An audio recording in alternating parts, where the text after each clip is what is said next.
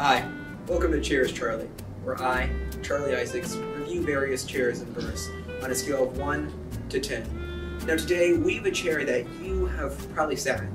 We call it the average student chair. Now, as you get a closer look at this chair as I'm running away, it's the classic red chair that you all know and probably love as much as I do. You can see the light clearly reflects off it to get you a nice view when you're not sitting on it. Now the main focus of the chair is that you know it has a wide seat, so almost anybody can sit on it, and it doesn't have much head or upper back support, which is you know kind of a con of this chair. But some people like it not touching their upper back and just having the nice lower back support. Right? It feels feels nice. It can fit anybody. Uh, you see the chair has nice strong four legs going almost straight down, a little diagonally out and underneath it has a couple, uh, you know, three uh, racks where you can put either like binders or books. I actually like to put my feet there to rest. It's it's a pretty nice, comfortable place, right?